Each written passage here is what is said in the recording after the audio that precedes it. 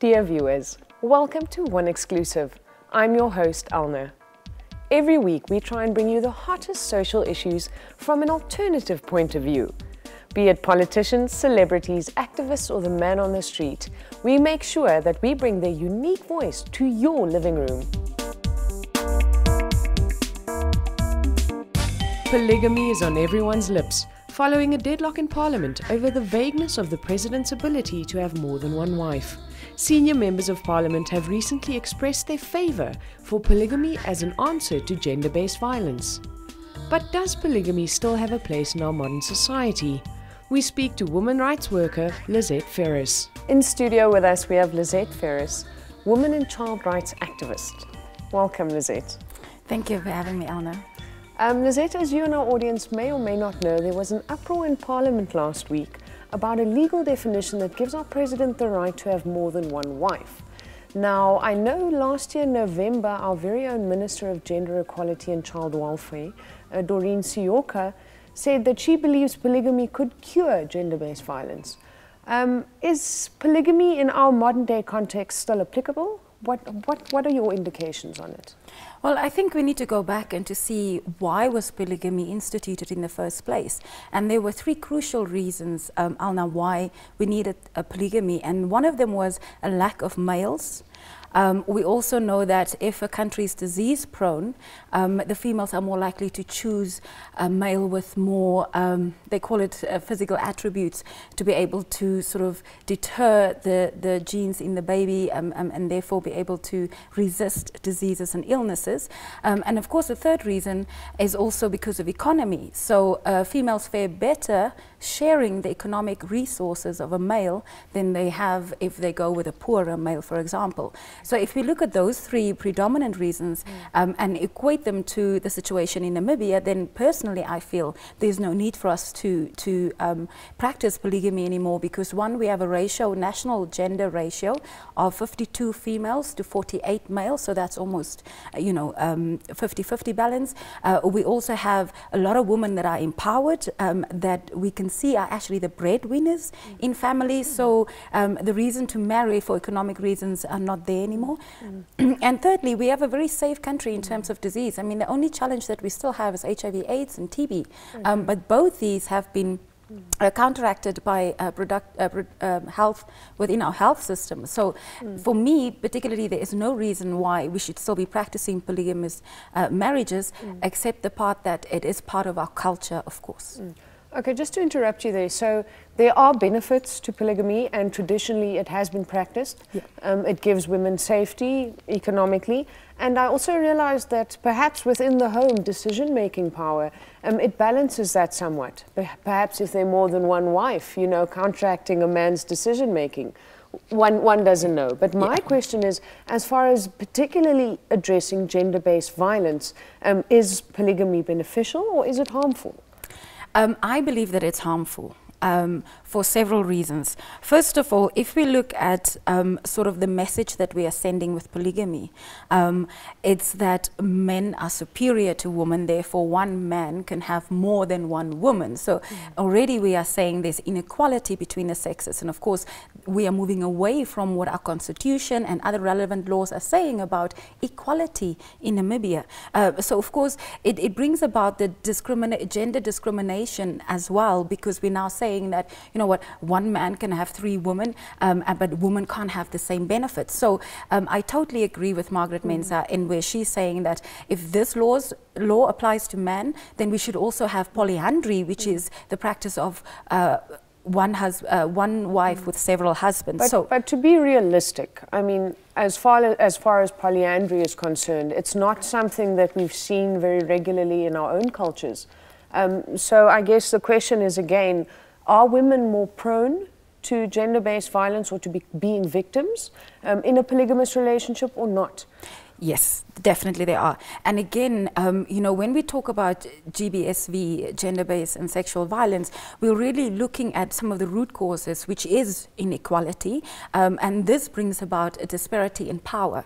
So, say for example, um, we know that in, in, our patriarchal society, which we still have pretty much, and, and polygamy is a practice of patriarchy, uh, we know that the male is the primary power and decision maker. Mm. He's a primary power holder and decision maker, and there therefore, if we, uh, for example, reverted to say, uh, let's practice polyandry, which I also see can't really happen in Namibia, but then we would be giving the female the mm. primary power. Um, and again, we're not really moving into a gender equality society. So what we are saying really is that we need to look at GBSV from its root causes. And polygamy and all of these other things are contributors, but are not the root causes. Our root cause of GSB, uh, GBSV is gender inequality, which is driven by gender discrimination.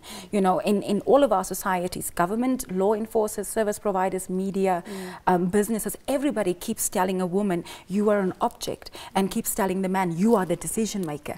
You know, so, and many a times we also find that even in, in the discussion on paternity tests, mm. you know, it came about that, again, then women are to blame because now they are lying about who the fathers are.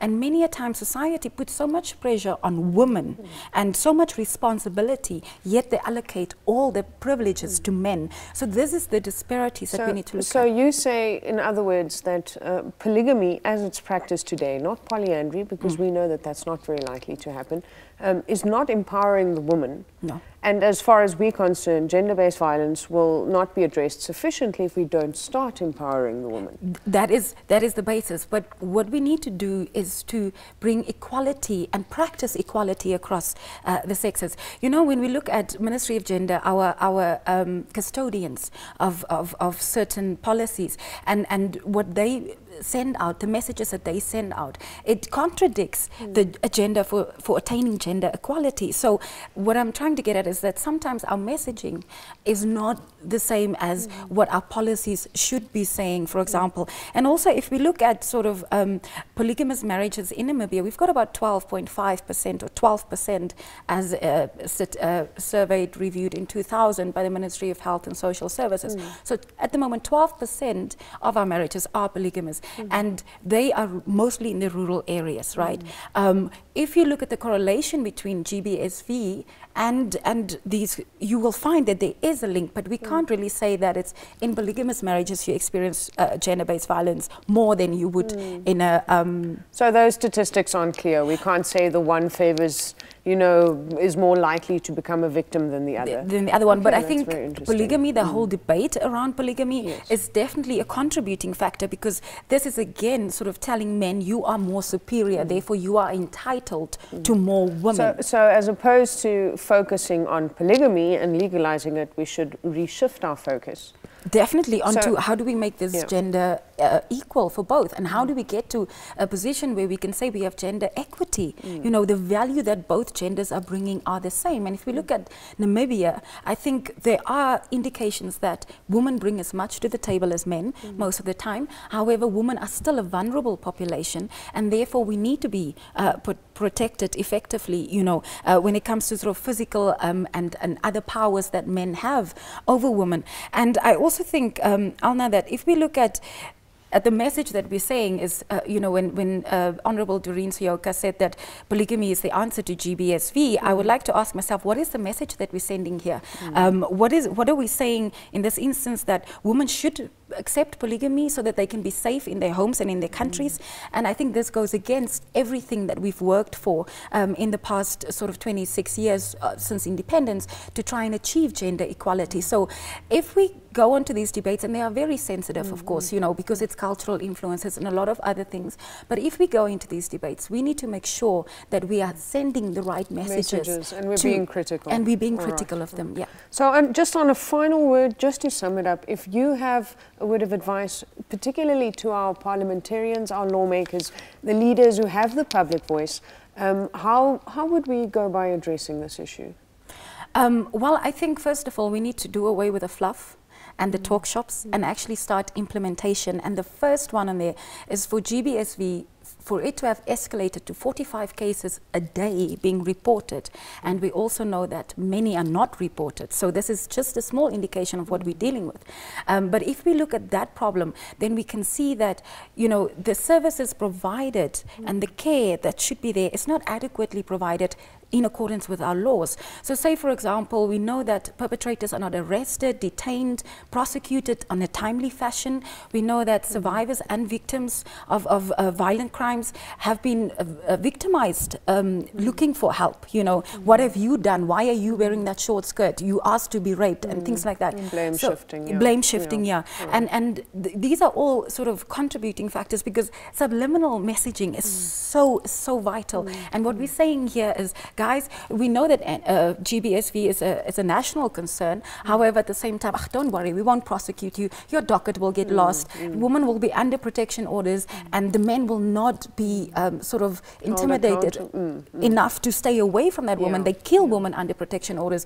We know that children who come into conflict with the law, for example, are detained with, with adult men, where a lot of violent, um, you know, violations are actually happening against these young youngsters as well. And it, this is perpetuated perpetuation yeah. Of, of the violent crimes. So just to stop you there, our time has unfortunately run out. Thank you very much for coming. And just to sum up what you've said now, so where the verdict's still out on polygamy, mm -hmm. there are benefits, but at this stage, according to you, it's not a priority. No. And legalizing it won't help. No.